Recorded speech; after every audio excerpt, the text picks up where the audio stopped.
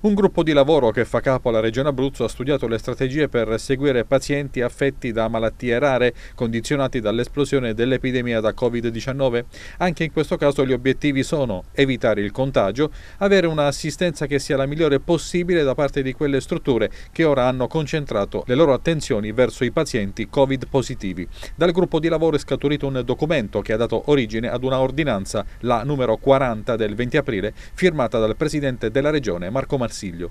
Veramente l'Abruzzo con questa ordinanza ha cercato di eh, dare un grande segnale di attenzione e di stabilire una serie di provvedimenti che ci aiutano. Ecco. Piani terapeutici di tutti i pazienti con malattia rara, quindi quelli che riguardano non solo i farmaci nello specifico, ma anche gli alimenti a fini speciali, gli ausili, tutta una serie, gli integratori, tutta una serie di eh, dispositivi che sono necessari alla vita quotidiana del malato, del malato raro sono tutti automaticamente rinnovati come da normativa AIFA di 90 giorni, tutti quelli scadenza marzo, aprile e maggio.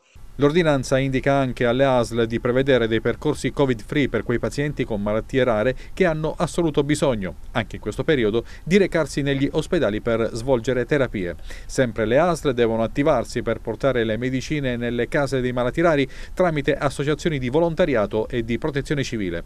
Un ruolo importante, con possibili prospettive future, è giocato dall'utilizzo del consulto medico a distanza, la telemedicina. La telemedicina noi l'abbiamo inclusa nella ordinanza per i malati rari e questo è, un, è un, veramente un aspetto molto importante. Ovviamente abbiamo bisogno di software adeguati, però eh, abbiamo il grande supporto dell'Istituto Superiore di Sanità dove la, il direttore del Centro Nazionale Malattie Rare, la dottoressa Domenica Taruscio, eh, si è impegnata affinché ci possano essere eh, delle linee guida comuni per i centri che si occupano di malattie rare e soprattutto si superino alcuni ostacoli. Voglio fare un esempio pratico. È chiaro che possiamo avere dei software di altissimo livello per fare le consultazioni online, ma se poi questi software sono difficilmente raggiungibili dai pazienti, l'Istituto Superiore di Sanità nelle linee guida ha detto meglio un software più banale come Skype che però può essere alla portata di qualsiasi paziente.